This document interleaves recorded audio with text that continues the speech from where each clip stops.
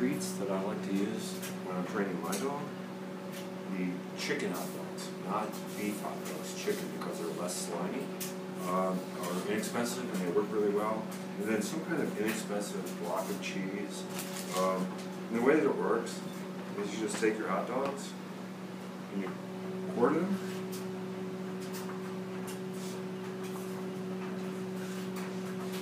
And then dice them.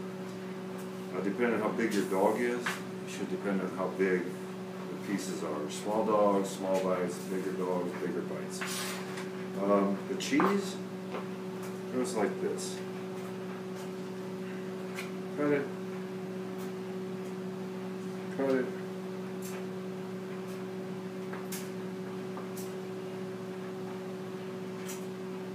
Cut it.